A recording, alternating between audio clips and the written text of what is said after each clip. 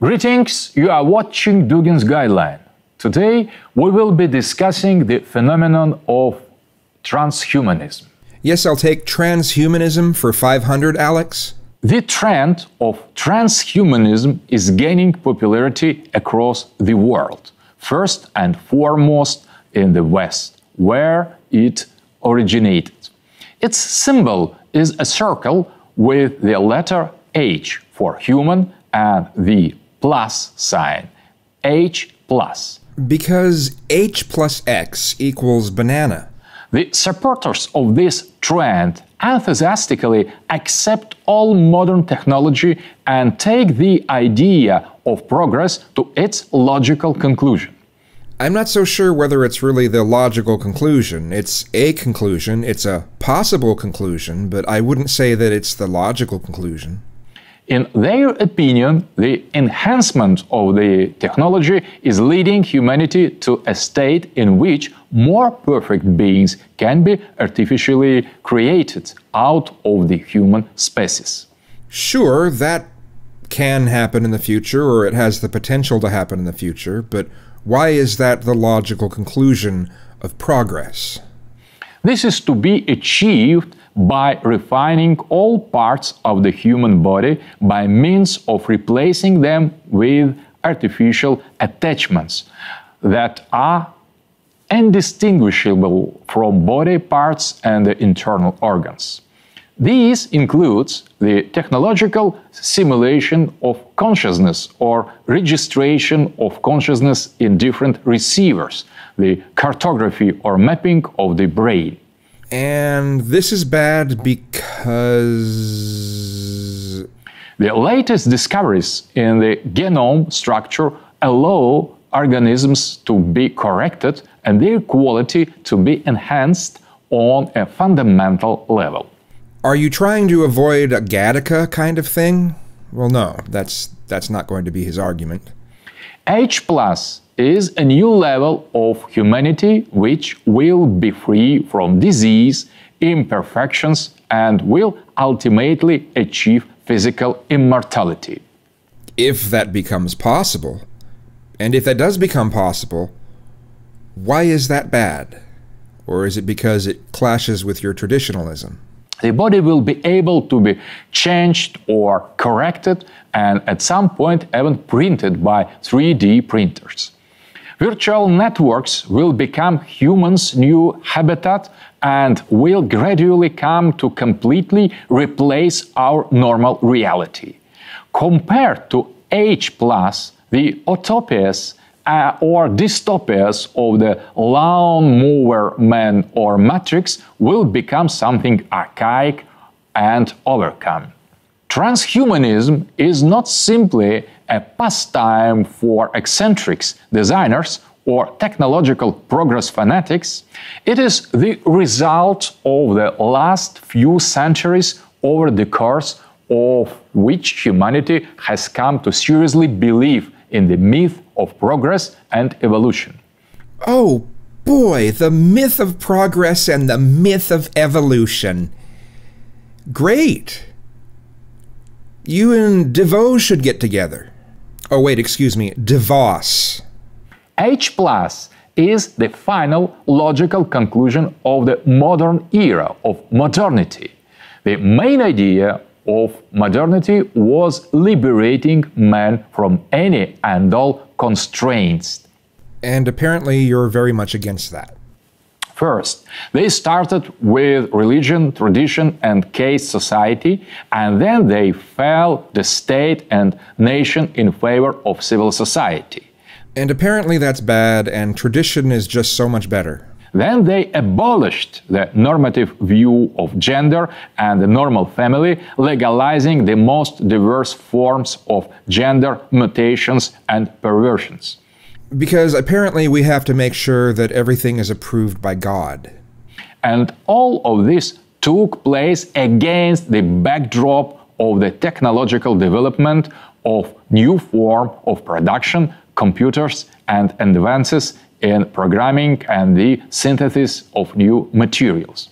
Ideology and technology gradually merged into something one and indivisible. With liberty and justice for all. And subtract the part in the United States about under God that was, you know, added in the 50s. Technological progress has become an ideological factor, and ideology has in turn become nothing other than technology. Hence, the replacement of classical political forms with spin doctors. You heard it from him, right? You know, unless it's traditional, it's spin doctoring. Now we have come to the final phase of humanity's liberation from its limitations. In the West, there is already no longer any religion, political hierarchies, normal families, or state in the fullest sense of the word. That's news to me, especially here in the United States. Yeah, that's news to me, especially after Trump got elected. Yeah, that's that's news to me. All borders have been completely crossed, transgressed. Now all that remains is one final step overcoming the boundaries of the human species itself. I don't know whether we'll ever actually achieve that, but if we could, why is that bad? Well, because God, right? This is H the last word of liberalism. Transhumanism is no bizarre side product of technological development. It is the logical end of the modern age. Well, it might be the logical end of, of this technological age that we have, but to connect that solely with liberalism, I mean, unless you think that uh, we should go back in time, and, well, I mean, I guess that's kind of what traditionalism likes to do. How far back do you want to go? 50 years, 100 years, should we start living in caves? I mean, how far back do you think we should go? According to modernity, we were supposed to reach the age of cyborgs, hybrids, mutants, and chimeras, and now we have arrived. A lot of people have hoped that we could reach the age of Aquarius, so to speak. Now, I know that there's a lot of woo behind that and some mumbo jumbo behind that, but the concept of us becoming more enlightened uh, seems to be a valid one. You know, maybe, you know, maybe through technology we might become more enlightened in that way. You know, that would take people away from God, and you've got to do everything you can to stop that because, you know, cabbage. Of course, the vast majority of humanity today are not ready to become cyborgs or mutants. But no one asked the majority of mankind. All history is made by elites. Well, I mean, history is written by the survivors, it's written by those who are victorious. So I suppose you could say it's written by the elites. Um, I think it's a little bit of a stretch, but uh, when it comes to society being ready for this or that, you can only push things so far, as I've discussed before. And when you push too far, uh, there will be a push back. Now, I suppose that you feel that you need to push back against this stuff that's going on. And I suppose that's fair. From your perspective, what's coming up seems to be terrible. From other perspectives, it's just like, what's the big deal?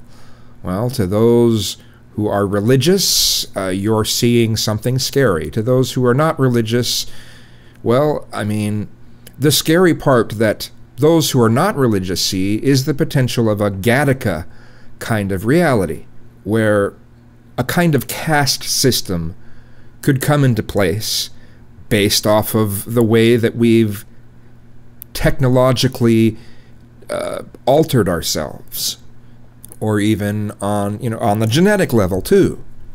You know, larger uh, brain capacity, uh, uh, more, uh, you know, people that are smarter than ever, that sort of thing. That's what those of us who are not religious worry about. We don't just, you know, say, well, that's bad because it's not traditional. Now, maybe that's not directly your argument, but you've never really went into the problems you actually have, other than it's not traditional. So. The masses are never ready for anything, but this means absolutely nothing. They are not ready, they are being prepared, and no one even notices. Transhumanism is inevitable if we accept the main trend of the modern era faith in progress, development, and the betterment of humanity. So you're essentially saying that you don't believe in the betterment of humanity. And we should just follow a bunch of rules, follow some dogma, follow an ideology as long as it's your ideology, right? This religion, or rather pseudo religion of progress, was introduced to Europe and the world by the Enlightenment. This heresy gradually replaced or pushed into the periphery all traditional forms of religion, first and foremost Christianity. It is impossible to stop halfway on this path of progress. Heresy, free thought. Ah! Saying A, we have to say B, C, D, and all other letters of the alphabet. A, B, C, D, E, F, G, C, A, L, L, A, T, T. H plus is the last letter. Henceforth, only computer language begins. Zero one one zero zero one zero. The only ones who are on the opposite side of posthumanism are consistent and fundamental traditionalists. Yes, and that's exactly why level headed, non religious people are against people like you cramming your traditionalist bullshit down everyone's throats. They reject not only the final mutation, but all of modernity, the very idea of progress and development, the scientific image of the world, and democracy and liberalism. So you're against science, you're against progress, you're against improving the human condition, you're against improving life on this planet because, you know, tradition and dogma and God's rules. We should all live according to that again. So, what parts of technology should we drop?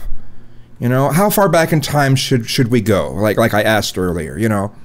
Instead, traditionalists affirmed and affirm God, church, empire, caste, power, and folk customs, not progress. The modern world is not progress, but the result of absolute decline. So basically, a Christian version of Sharia. You should beat your kids, you should hit your wife, you should, you know, put women in their place, and uh, men should rule the roost. You should have a real, honest patriarchy, and we should try to spread the power of the religion across the globe and try to take over everything. And that's progress. Okay, that's very, very interesting. It is the kingdom of the Antichrist, fighting against H plus to reject the final transformation dictated by the very logic of the liberal ideology of modernity while still accepting other aspect of modernity is meaningless. As he refers to the logical conclusion of modernity, I want to point the logical conclusion to those who, in one way or the other, push against modernity. Okay, his type of shit, the crap that he puts out, is the logical conclusion to being against modernity. Now, if you don't want to align with that shit, maybe you should look into what the logical conclusion of your views are. Do you want to promote traditionalism? If so, you know, how far back in time do you want to go? What things do you want to abolish? What kind of totalitarianism do you support? Now, let me be clear about something here. Okay, I have talked negatively about some of the aspects to what technology has done to us. I think there are fair arguments against some of what has happened to us. Even as I talk about, you know, Facebook and how everything just seems to be a way to sell technology and it doesn't matter what the negative effects are on society. Hey, as long as they sell things, it's all good, right? There are some very negative things that have that are going on in our society as a result of technology. You know, technology can be used to do good, technology can be used to do bad. Now, there are also some things that we've done throughout time because of industrial technology that we're really fucking things up for our future. Now, I don't imagine that Alex has a problem with uh, industry dumping into, you know, the ocean or, or whatever. Um, has no problem with the destruction of other animals and other life on the planet. You know, as long as we're following God's rules, that's that's great. You know. But I, I, I don't come at this from that sort of perspective. I come at it as, you know, how can we reduce harm? What can we do to reduce harm? So there are there's a lot of technology that we have right now that we can work towards making it less harmful. Less harmful for the environment, less harmful for humans and other life to create, less waste, and I mean uh, like industrial waste, you know, reduced industrial waste. We need to find a way to legally demonize and make expensive when companies push for making things obsolete, planned obsolescence. To make that kind of thing have fines and things that make companies not want to do it. Um, you know, to try to try to push for companies to make things with quality something that will last a long time, something that's worth lasting a long time. I mean, we have taken some of this to a whole new level when it comes to trying to keep up with the Joneses. We've we've taken it to a whole new level. And it's with these little bitty things that we hold in our hands. Let's start focusing on trying yes, let's have great technology, but let's also focus on making that technology something that can last. You know, let's not create quite as much of this stuff that ends up going to the landfills. Reduce the negative footprint that we leave behind. If you're going to make something, then make it with quality. We used to have those standards. You know, and I hate I hate to, to bring up these years, but I, I can't. I, mean, look at, you know, 40s and 50s uh, vehicles. Um, now, they didn't know about some of the stuff that we know about now with uh, like crumple zones and things, but they still built things to be quality, to last a long time, something that you can uh, carry on to further generations. You can you can give to your your daughter, your granddaughter, your son, your grandson, things that that can be passed down. Technology that can be passed down that kind of idea. I think we need to come to, to return to that kind of idea, but with new stuff. Don't go back to old technologies. Try to figure out how to make the new technologies better for everyone and everything on this planet. I, I think that we need to try to make sure that some nature areas remain natural. There's a bunch of other areas that I could go into, you know, politically, but um, when I talk about how technology can be bad, um, which is somewhat, you know, this is what this video is related to. Um, I wanted to be specific and show, hey, you know, these are the things that I think should be done. You know, it, that is how we could become less controlling, less enslaving, and possibly less manipulative. I don't think we should try to go straight down some particular road. We have things to work on, and as society changes and situations change, we need to keep modifying the road that we're going down. So, you know, if we can achieve some of the things I just talked about when it comes to technology, if we can achieve those goals, I don't know what the next goal would be.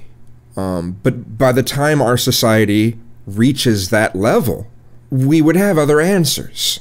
My main thing overall is let's try to, uh, you know, if there is a road to go down, and this is a very general road, uh, let's try to reduce harm. Transhumanism is the inevitable tomorrow if we agree with what our today is.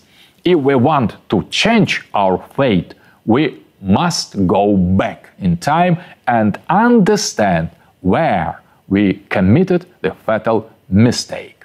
There was no fatal mistake made. What you are trying to implement, what you are trying to promote, is a fatal mistake. All the best! You've been watching Dugin's guideline on transhumanism. Holy teachings assert that the devil is capable of almost everything, but he cannot create man. He can only make a parody of man or manufacture his simulacrum. H plus is clearly a scheme of his. One of the things that's particularly concerning about people that seem to have beliefs similar to this Alex guy here is you can ask them, you know, well, if if we're the main things that God cares about, then what happens if we're we no longer exist? Oh, well, God won't let that happen. Oh, unless there's end times, and then it's, and then they've got some weird explanation at that point. point, and you're like, you don't think it's at all possible that we could wipe ourselves off the planet from uh, shit that we've done to the environment. Oh, God won't let that happen. Yeah, because some of these people think that we were put here by God to use everything in the ways that God uh, approves of us using it that way. So we can basically push forth a control manipulation and uh, a very, very heavy concept of ownership onto everything. Man, it's it's it'll it's everlasting. It's it's it's eternal like God. It's it's such a, a ridiculous kind of simple-mindedness that I don't even you know, in simple-mindedness in certain areas anyway, and and gullibility and some sort the I mean, humans have this desire for self-preservation. That's, you know, that's just built into us, right? So it's understandable that we would uh, find it okay that uh, oh the the some supreme being that created everything uh, looks to us as their most important creation. It's understandable, you know, why people could have those feelings about the importance of humans. But when people use that to promote something that could discontinue the existence of humans, you know, inadvertently, it's it's it's pretty weird.